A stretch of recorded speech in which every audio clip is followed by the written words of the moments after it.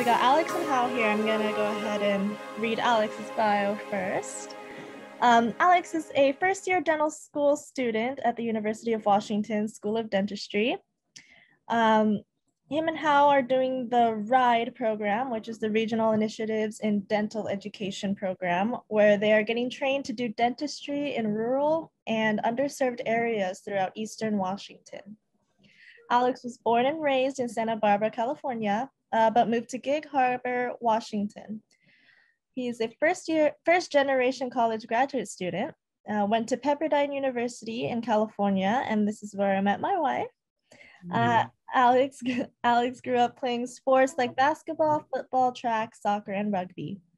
Um, his wife and Alex love exercising, love going on hikes with their two dogs, and love to watch movies and shows.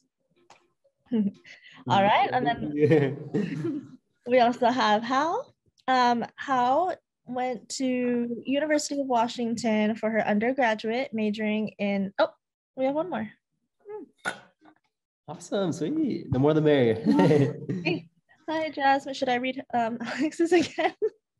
oh. No, it's all good. We can talk about it later as well. Oh, okay, okay, sorry. So Hau went to University of Washington for her undergraduate, majoring in biochemistry and minoring in chemistry. Currently, she is in Spokane as a first year dental student at the University of Washington School of Dentistry. Hau is a part of the RIDE program, as well as the AHEC Scholar Program. Uh, both programs aim to increase service in, under, in the underserved communities and interprofessionalism. Um, she looks forward to talking about dentistry and uh, to answering your questions today. So I guess we're gonna get started here, okay, Alex? Let's do it. this is Dentistry 101. We'll give you guys 20 seconds. so how many years is dental school?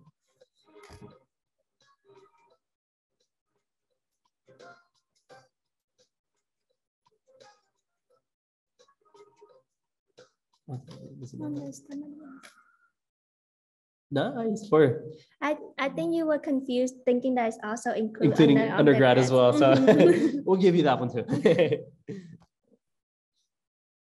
Nice. Awesome. This is a little tricky. We'll see. so, what national exam is required to matriculate into dental school?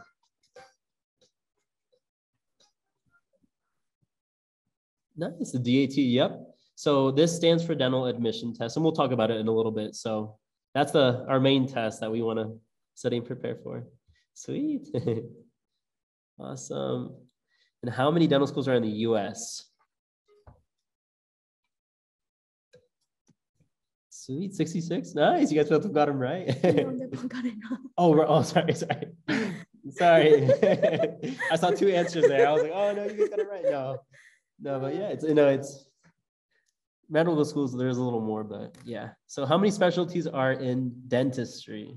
A little tricky question. 12, nice, nice, sweet, yeah.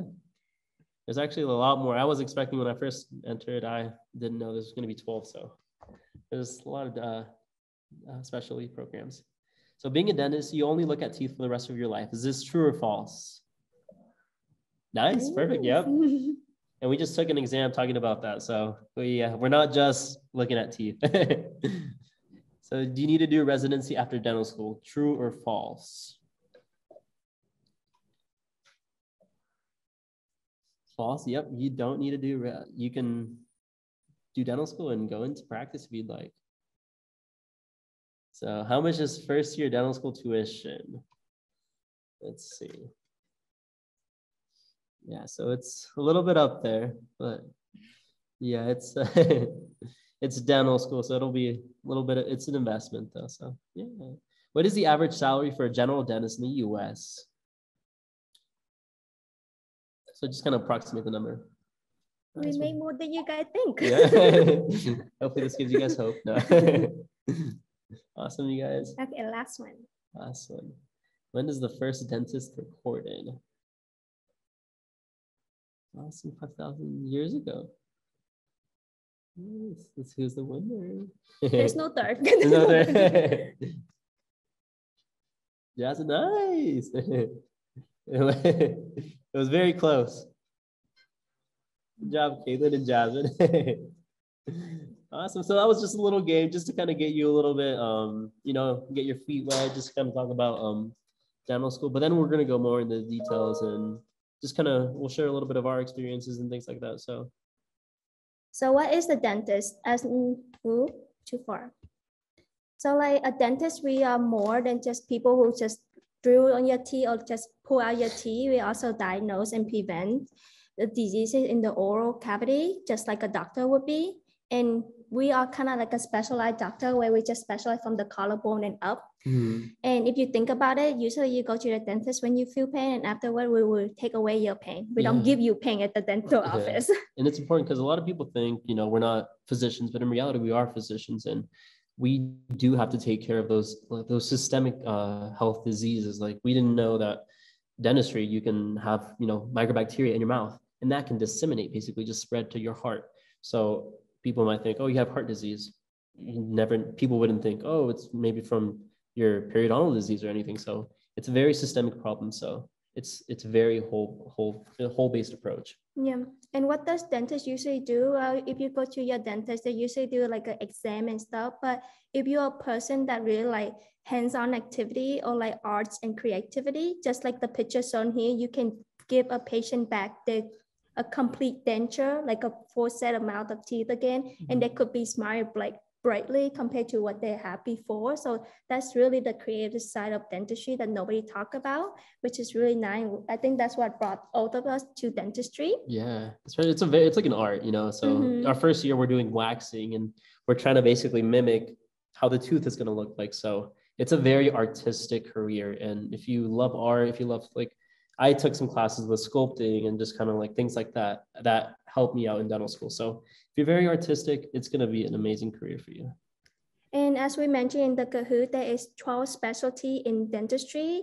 And like you don't think that there's more to dental school than there is just a to- dentist a just the dentist yeah. that you see. Like even the picture right here, you as a dentist will diagnose this person to have this type of tumor and then refer them to like a oral maxillary surgeon or Mhm. actual surgery itself. Yeah. So you see all kind of weird thing in clinic and you never thought that you would see. Yeah, and it all with these uh specialties, they all vary in the amount of years. Like some will Mhm. take two years, some. Uh, I personally want to try to pursue oral maxillofacial maxillofacial surgery, and that can be like four years if you're taking a certificate program after dental school, or six years if you want to approach a DDS or an MD route. So you can get both degrees, but it all uh, differentiates. Like ortho is three years, so it all depends. And this is not required. You can just be a dentist and um, not just be a dentist, but you know, do dentistry and do more clinical stuff. And it's all it's up to what you want to do. Like for me, I just want Alex. Um, sorry to interrupt. Uh, Jasmine Oh. actually has a question for you in the Yeah. chat. Oh yeah. Uh, she asked, "What's the difference between a dentist and a dental hygienist?" So a dentist, you actually have a four-year, deg- a dental hygienist, someone who mostly take care of your teeth, just like Mm. cleaning, scaling your teeth, getting rid of all the plaque and bacteria on your teeth. But as a dentist, you the doctor, you in charge of the, your, the exam that the patient come in for. You detect whether the patient have cavities, Mhm. have some type of cyst in the mouth, have some type of oral cancer. You Mhm. make the decision as the doctor. So dental hygienist, you could think of them like a nurse Mhm. and then a dentist is your doctor. Yeah, and we always, you know, we always don't discredit hygienists because they're amazing. You know, they take care of periodontal disease and things like that. But we have to detect, oh, you do have periodontal disease. Um, you're able to prescribe medications and things like that. Whereas dental hygienists, they don't have the freedom. And um, we basically are kind of instructing the the treatment plan, if that makes sense. So we're basically physicians. So these are the undergraduate, the, the next two slides will just talk about undergraduate prereq classes that you have to take. This is your basic bio class, chemistry class that everybody have to take in order to apply for dental school. This is the from the ADA website, but this is one, this one is for specifically for the UW. If you want to apply for UW dental school, this is the requirement that you have to take. And this right now you're still young, you don't have to worry much about this. So when you get into your undergraduate career, then this is what you need to focus on achieving before you apply to dental school. Yeah, and I don't know if you guys are in is high school. Yeah, high high school. So, um, yeah, just honestly getting involved with like just with a little bit of like sciences and things like that, what you guys can be doing right now. And um, uh, just there's we're going to be talking about some programs later on at the end of the quarter, uh, the the slide, but that's something that we can just like uh, talk about and everything. And um, yeah, just maybe just look into engaging in science classes because you know, um, yeah, we have to take physics, we have to take, believe it or not, we have to take, mm, it's a requirement to take English um, and other like math and everything. Mm-hmm. And so it's a, it's a very whole, you basically not just take the science classes, you also have to do other classes, when, which will be required for college, of course, but um, yeah, just try to um, maybe just emphasize. Okay, so science. Caitlin have a question about UW. So I went to UW school and the mm-hmm. physics considered probably hard. AP physics will help you introduce you to the concept, but going to UW is a new whole experience and it's really depend on how you study. I took AP physics in high school as mm-hmm. well, but I didn't think it was that much helpful. it's just dipping myself in the world of mm-hmm. physics. That's about it. Like getting familiar with all the equation that involve in physics and use when you go to undergrad, it won't be the first time you see the equation. Yeah. So yes, I would recommend taking AP physics just to introduce yourself to the subject. Yeah. And it gives, it gives you that good transition to make it easier if you do want to like retake it in college and you're going to be, you're going to feel really prepared. Mm-hmm. And luckily physics is not on the DAT. So that's a good thing. yes. okay. The, we did talk about the DAT. This is a really long test well, compared to medical school, this is not as long. It's only half a time, four and a half hour long. Mm-hmm. It will test your reading, your math skill, your science skill. And one special thing that we test on is perceptual ability.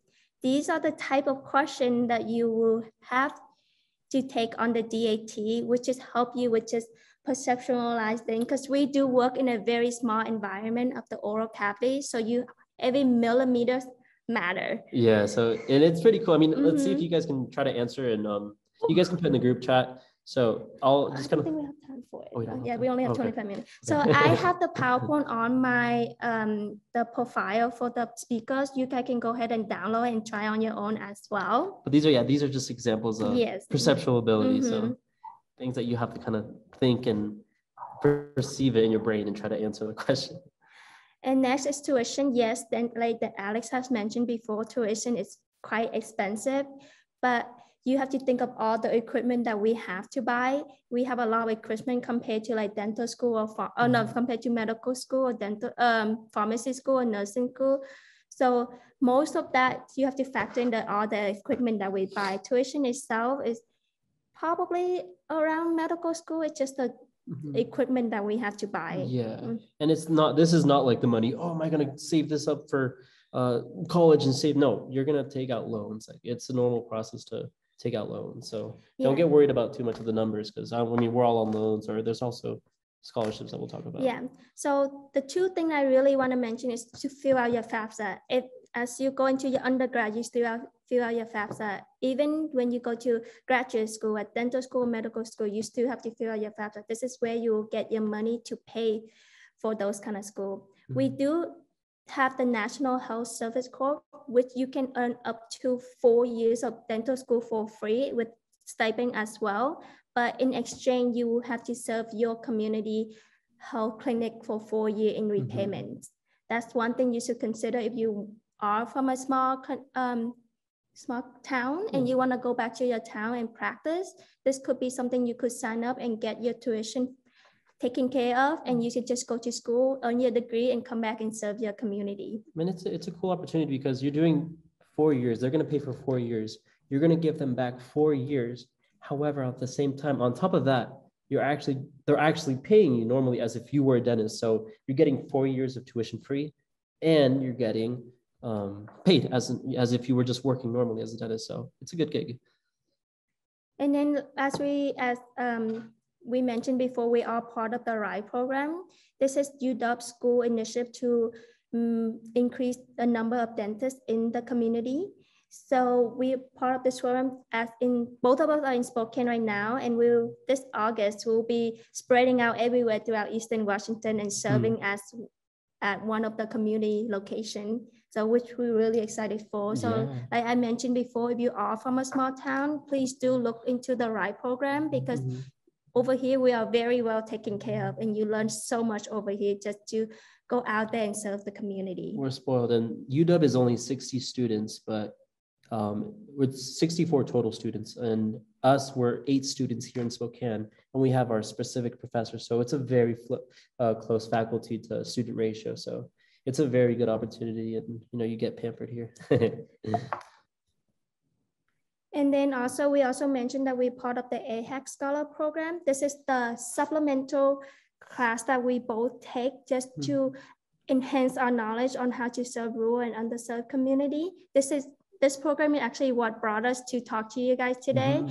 So we want to give special shout and thank you to this program. And please, when you are in the pro- health professional school, please look into this AHEC program because you get to talk to other healthcare professional students Mhm. and collaborate on idea and how to improve the healthcare system in rural and underserved community. Yeah, no, I agree with that. Just adding to that is, as a dentist, you're going to be working as a dentist in a clinic and everything, but reality, you need to know the patient. You need to know their medical history. You need to know their psychological, the social history. So AHEC allows us to work with other uh, professionals and kind of hear their insight and see what they have to say. Oh, what do you recommend for somebody who's you know has um, heart disease? You want to talk to an uh, we we communicate with dietitians and things like that.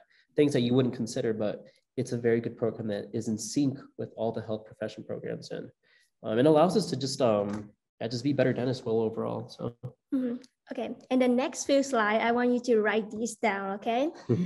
So first, we have the TRIPA program. This is the UW Dental School program that for high school students, so which are you guys from 13 to 18 year old, you guys can apply and this is a free program for you.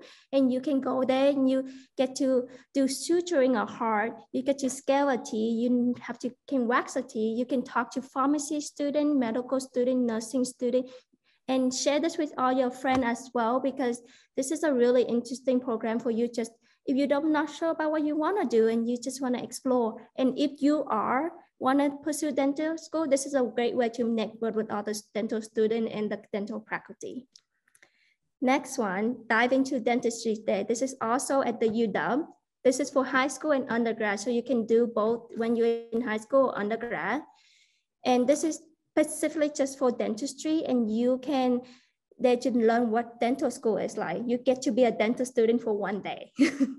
the camp, um, this one, I this this the website where you can go into and then you can sign up for it. And this is on the weekday. I think it's run from March to like May on the weekend. So you go to UW medical uh, UW school for on the on a Saturday and you can just have fun and learn about how and how you join. And now I think the application for 2022 is already closed, but you can go to their website and you can sign up to be notified when the 2023 application is open. if I would do this all over, I would do this. I, I didn't know about this. So whatever house telling you is look into that. So And then when you are in um, undergrad, your freshman and sophomore year, you need to do the summer help professional education program. This is the free program for six weeks in summer that you get to shadow. You get to be a dental student or medical student or anything. You get to network with other people because as we both realize, networking is really important. Mm-hmm. And how you want to pursue any career, you need a mentor, you need somebody like that. These will, this program will really help you connect with those people, and you get to shadow a dentist. That's so fun. yeah, and, yeah. and you can learn more. This you can feel how, what it's like to be a dentist and whether it is for you. And see the environment. Mhm. So take advantage of that. So And Awesome. lastly, this is all the website I have for you guys. And this is all the website you can go and learn more information about dental school. I didn't want to go too much detail because we want to open up for questions. So this is a great time to for you guys to have questions for us. ooh, how how do you start preparing? How you, um, so dental hygienist is completely that different from dental school. If you want to be a dental hygienist, they actually a prereq a different prereq that you have to take and that's usually take around two years. Yeah. And then after two years, you can ac- actually apply to a dental hygienist program. At Mhm. Eastern Washington, there is the dental hygiene school that you can apply to, but there's so many around Washington, like Shoreline and everything. So you just have to look up what are the prerequisite, the classes that you have to take to become, to apply for dental hygiene school. And then from there, you will need to apply to school. There's no test, there's no DAT, which is yeah, really great. yeah. yes, Um, but is what. I want you to do is start to shadow a dental hygienist if you can, because you Mhm. want to know if dental hygienist really is for you. Did you, as we mentioned before, dental hygienists are very important. Oh yeah, What high school classes do we take? high school classes. You go first. Um, I took I took the basic all the high school classes that are required. If there's like a science class, I usually go for the all the AP classes. Because like I said, I want to introduce myself early to what it's like to be a college student level of learning. So I Mhm. did all the AP classes. Mhm. And at the same time, like, and obviously, I'm I shouldn't be saying this, but you know, you guys enjoy your high school too, because I mean, college that, that'll be a time for college. So, um, I took, I mean, I took up AP chemistry, and like that was, I think, I feel like that was enough for me. You know, it was just AP, but, um, Mhm. but just enjoy your your uh, high school for now, and um, Do a lot of sports. love Sports really sports, good. yeah, That's then- where you get your scholarship from for, un, for undergrad sport. A lot of my friends did sport and they got a lot of scholarship. Excuse me. And then also to just to add the dental hygienist, like if you communicate, I think there's some. I, I I knew somebody, and I don't know if this applies to everybody, but um, there's some dentists that you know they want to actually have like contracts with you, say like, oh, if you work with us for five years, and we can actually fund your dental hygienist um, uh, program too. So I would I would I mean I. I, I that was a specific case, but I mean I would look into that if there's any programs that you know you can that, that can fund your education. The first thing I would suggest right now is to talk to your dent, dent, dentist right now. Just go talk to your dentist and then see what they have opportunity for you guys to see. Like maybe you can shadow right now as well to see what actually dental tree is like. Yeah. Did you enjoy chemistry? Should you major in? If you enjoy chemistry, should you? No, not always. The, your major, I only major in biochemistry and chemistry Mhm. because it just met all requirement. Like I was Mhm. checking off the list to apply for dental school, but you don't have to major it. if you like art, If- if you like music, if you like art English, you can just Yeah. major in those and then but you still have to take those science classes. Yeah. But if you really enjoy chemistry, go for, Go for it. Yeah, honestly, yeah. I was sports medicine. I I wasn't very. I was biology. Biology is basically like the typical one. But if you love chemistry, you can make yeah major in chemistry. It's I mean it's just part of your you know your requirements. You're going to take some chemistry, organic chemistry, and luckily that's part of our requirements. So it's always it's a I mean it's a good good you know so. Um, yeah, with even with sports medicine, I didn't have to take organic chemistry, but I needed to for dental school. It wasn't required for my degree, my uh, bachelor's degree, but it's required to apply to dental school. So if yeah, if you want to major in chemistry and you and you love it, go for it. So we only have about like 48, 47 seconds. Thank you. I would just want to thank you guys so much for like attending our session. I know it's kind of a bit rushed. Yeah, sorry. Shoot us an email or anything if we can answer a question or send you towards somebody, connect Yeah. you with somebody, we will try to do that. yeah, honestly, and yeah, we'll try to answer as many questions and give you the shortcuts and everything. So, and we'll give you our experience too. You know what we did and things to prepare, especially when when it when it comes to college. So, so yeah. All right. Thank you, Caitlin and Jasmine. Yeah, thank you guys. Yeah, thank you everybody. awesome.